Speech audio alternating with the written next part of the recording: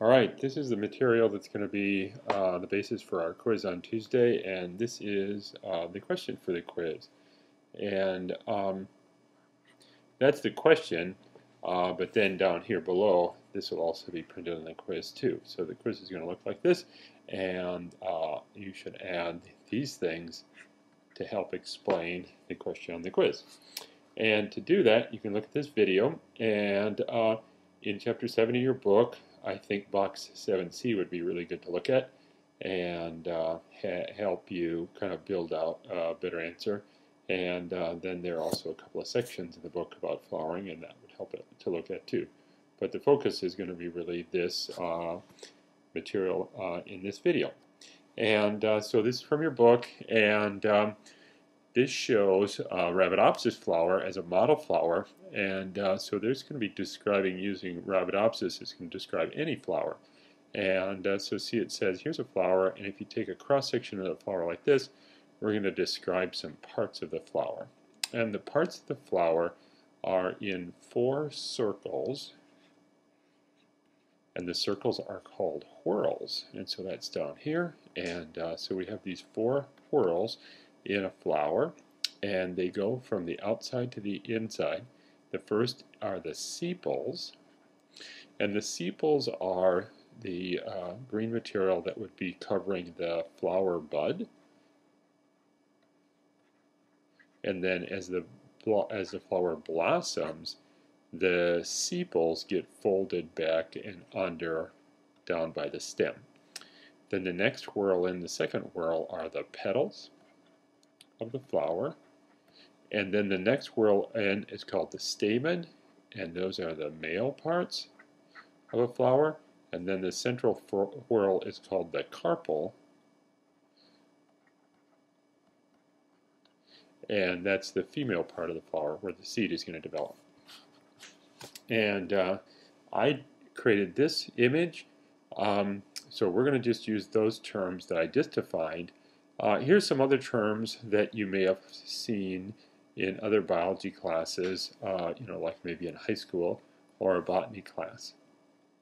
So these are the parts. The four whorls are the sepal, the petals, the stamen, and the carpel. And those are the terms that developmental biologists are going to use, uh, uh, use, and that's what we're going to use.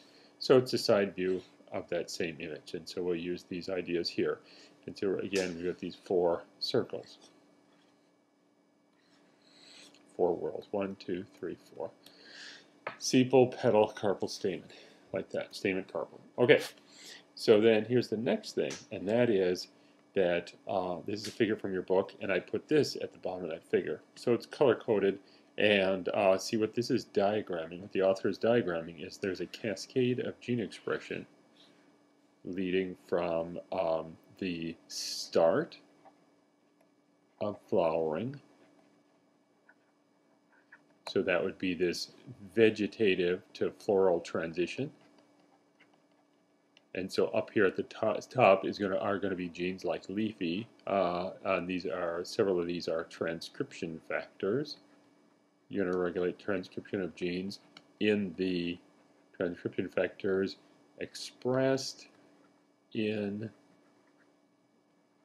the apical meristem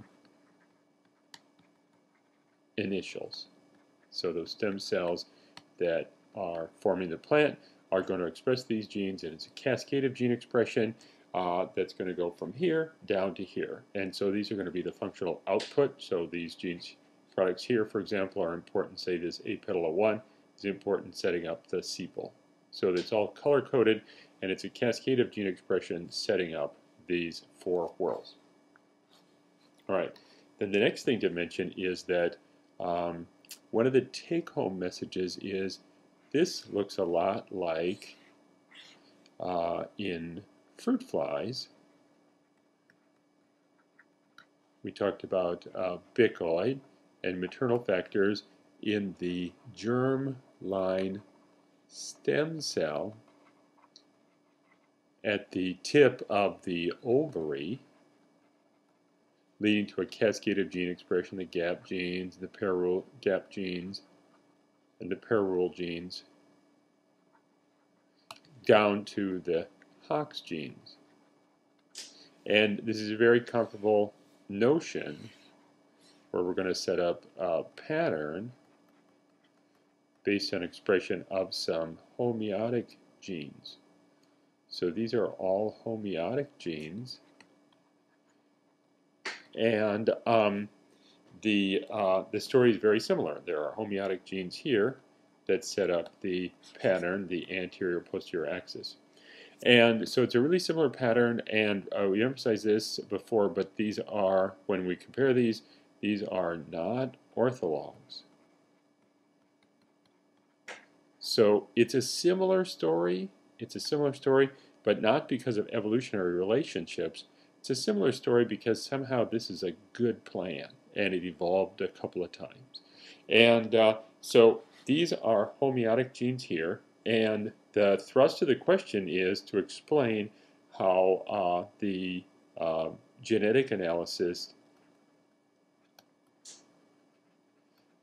of these genes explained this pattern. And um, the, uh, the pattern is going to be that um, overlying these four whorls, we're going to see there are uh, so there's a, a, pattern of gene expression that is going to be there's going to be three regions or addresses of gene expression. And that's called the ABC model. So we're going to be explaining the genetic analysis of these genes uh, in order to explain this um, the organization of these four whorls. Okay, so that being said, one of the reasons that we talk about this is this idea of seeing this cascaded gene expression and see that commonality. It's just a really interesting thing to see plants and animals have this similar feature. Then here's the other reason that scientists uh, would include this in an introductory developmental biology is because once these homeotic genes have been identified, they can be used to study the diversity of flowers. So there are a lot of different flowers, but it turns out that even though these are very, very different, they're still based on this architecture of these four whorls and this ABC model and this set, in this case, these are all plants, and so these are orthologs of these homeotic genes. And when we want to, you know, in modern developmental biology, when botanists are comparing flowers, what they now compare is they look specifically at the gene expression of these homeotic genes in order to understand the diversity of flowers. And that's a really important concept, and we will see that in, in animals too. That once the genes regulating something like flowering are identified, if you want to study flowers and the diversity of flowers, let's look at those homeotic mutations and the homeotic genes to see how uh, evolution has tweaked flowers uh, by uh, having mutations in these regulatory pathways. Great. All right, and this is just an image to show this idea of uh, these orthologs, the idea that these are orthologs, and we know all about that. So we can go between flowering plant species and we can find orthologs and say, hey, how has this ortholog changed during evolution to give rise to some of the diversity that we see in modern uh, flowering plants? Uh, okay, and so here are some of the genetic analyses that you're going to want to use to answer your question. And what's going on here is that scientists started out just finding some curious mutations. And so here's the phenotype of a mutation in one gene. The phenotype is a homeotic transformation.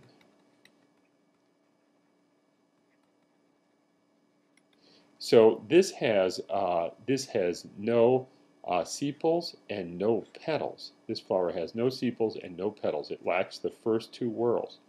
But they haven't been really been lost. Instead, they've been they've been replaced by extra stamen and carpel. So remember that in the fruit fly, the antenna on the fruit fly's head got replaced by a leg. And so we wouldn't say that we really lost the antenna. We had a homeotic transformation where the antenna was replaced by a leg. So same thing here. We haven't really lost the sepal and petals, but replaced them with um, these other two um, addresses. And you can think about it that way, like we have these address, address number 3 and number 4, and we replaced address 1 and 2 with 3 and 4.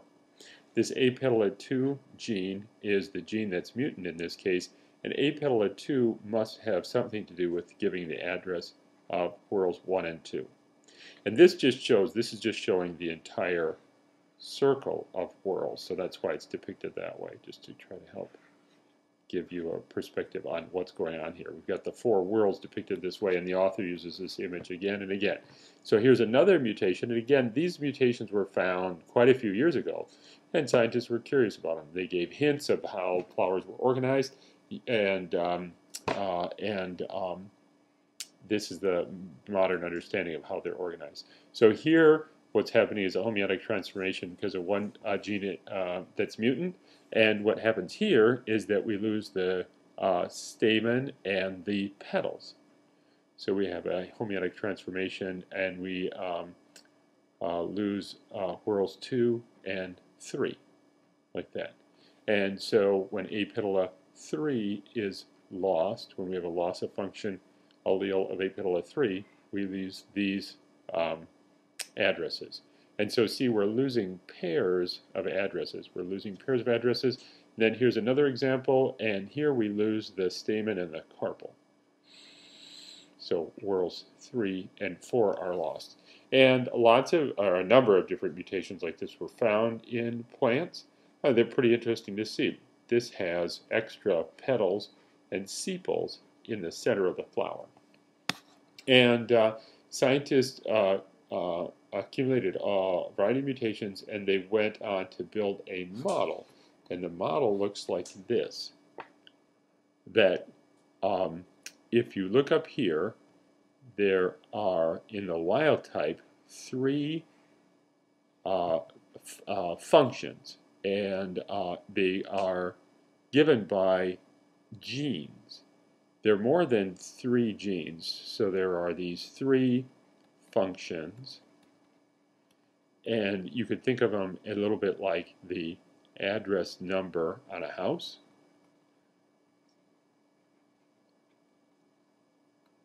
And we're going to make combinations of these addresses. The three functions are provided by more than three genes. because the genes are both activators and repressors uh, of this um, story. The genes involved are transcription factors,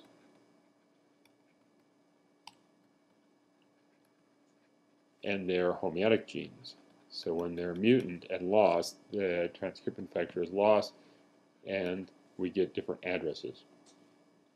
And here's the ABC model that shows that to create these four whorls, there are these three overlapping reading, regions of, gene function, gene expression. And uh, so sepals are, cr are created in a place where we have the A function, and then petals where we have both the A and B function, and then stamens where we have the uh, B and C function, and then uh, carpels where we just have the C function. And the idea is that uh, all the homeotic mutations were explained by that. So you could lose A function like that, C function like that, and uh, create homeotic transformations. Uh, and here's some examples that are shown there. And so that's the basis of the model. And um, you can take a look at some of the images in the book to help you understand that. Uh, that's the bottom line. And we want to build out from that your explanation in the quiz about Again, the significance of it, it helps us understand the diversity of modern flowers. It helps us draw parallels with uh, animal developmental biology that is really significant. And uh, these are the this is the genetic evidence for that. Uh, here is some images from uh, box 7C. Uh, that'd be good to look at just to get a, a better understanding of these. And, and you can step through the logic here to create this A, B, C model that goes on to create uh, positions of these four whorls. Um, here's a, just a drawing from the book that just shows that idea. So again, where this, this you want to be familiar with this scheme the author uses for drawing the four whorls and the ABC model. And so this is just looking down at a flower, and it's just saying, yeah, here's the flower, and the flower has these four whorls, kind of like a bullseye, uh, with the carpels at the center of the bullseye. This is just some uh, evidence uh, for gene expression, just showing that here is a floral uh, meristem. That, and it's just showing that genes are expressed in these different regions, the A, B, C region, like that. And uh, just showing some evidence these would be wild type expression of the proteins from these homeotic genes. Um, this is something you look you can take a look at uh, just to kind of quiz yourself about your understanding of the patterns the, um, that give rise to the phenotypes in these homeotic mutants. And uh, so I just got this off the web to just use as an example to see if, you, if it makes sense to you about the loss of uh, one or more of these A, B, or C functions, like that. So you can take a look at that. And then back to this drawing again. Um, this is from your book, and the idea is we start out and we go through this vegetative to reproductive transition, and that transition leads to the activation of these, these genes. And so it uh, it's interesting just to kind of understand that this goes hand in hand. When you say, oh, we're going to switch and make a flower, the way you make a flower is by activating this set of genes and as this meristem grows, now the flower is formed. And uh, so there's that image again that I made about uh, the four whorls of the flower. And uh, this just shows that, uh, to emphasize, there's just a real big diversity of flower types. And um, some flowers are old, uh, representative as old in evolutionary timescale, and uh, will have sort of a reduced story. This is kind of a modern flower story.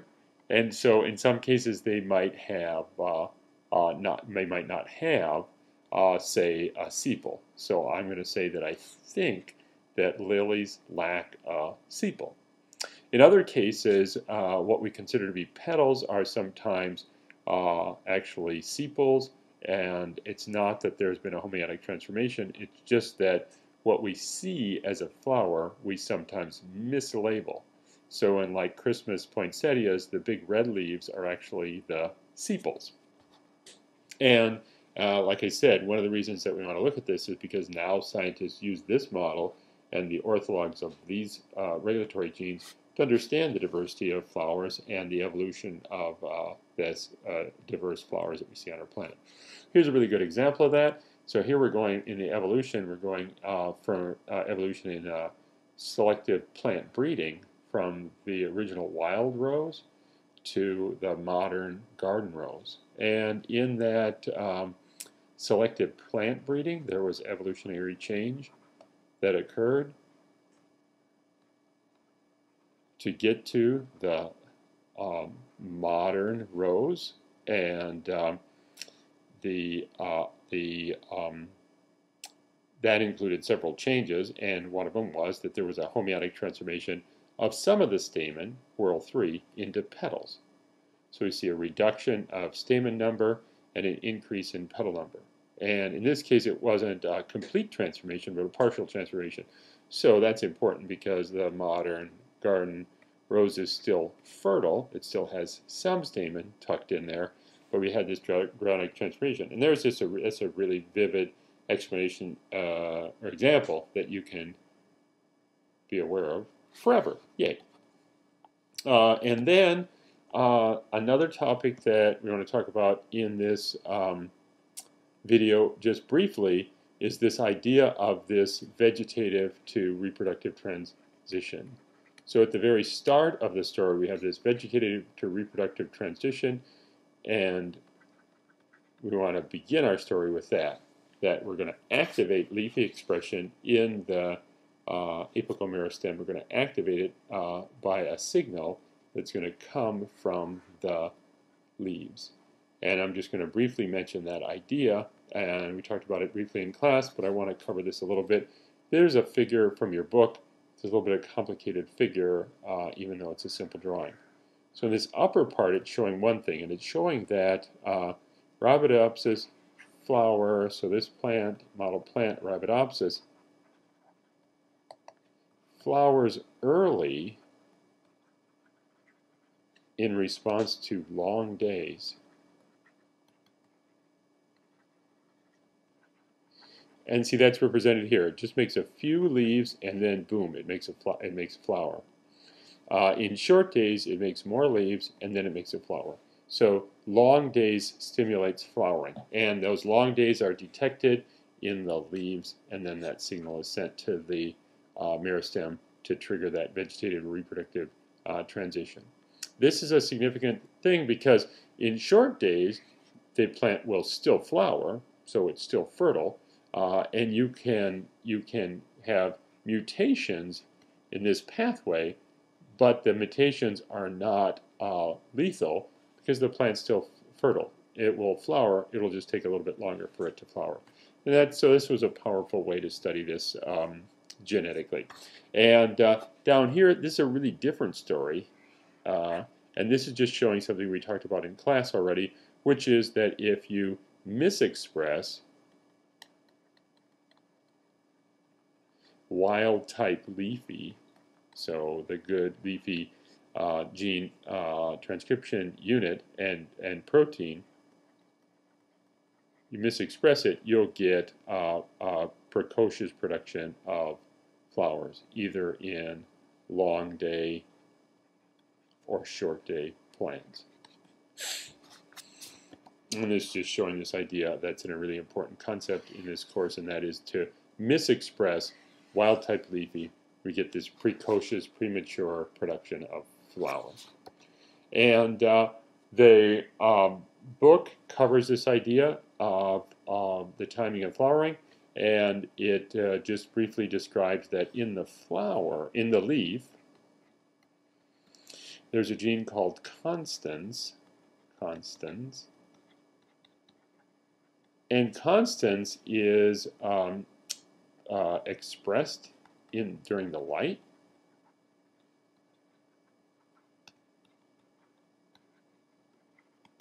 and degraded in the dark.